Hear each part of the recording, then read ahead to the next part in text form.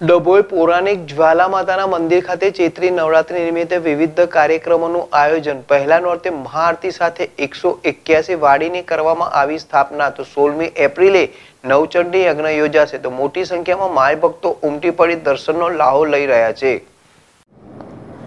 માં આદ્ય શક્તિની આરાધનાનો પર્વ એટલે ચૈત્રી નવરાત્રિ. માય ભક્તો આસુ નવરાત્રિની જેમ જ ચૈત્રી નવરાત્રિની ભક્તિભાવપૂર્વક ઉજવણી કરતા હોય છે.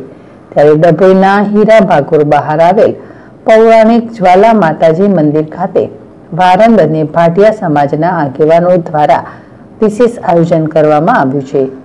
પ્રથમ નોર્તે એકસો એક્યાસી વાડીની સ્થાપના કરવામાં આવી છે. તો અષ્ટમીના દિવસે નવચંડી યજ્ઞ અને મહાપ્રસાદીનું આયોજન કરવામાં આવ્યું છે. સર્વે ભક્તો દ્વારા વિવિધ ધાર્મિક કાર્યક્રમ યોજવામાં આવ્યા હોય ત્યારે મોટી સંખ્યામાં ભક્તોએ લાવો લીધો હતો. વિજય બારોટ, જેડેશ ટીવી, ડભોઈ.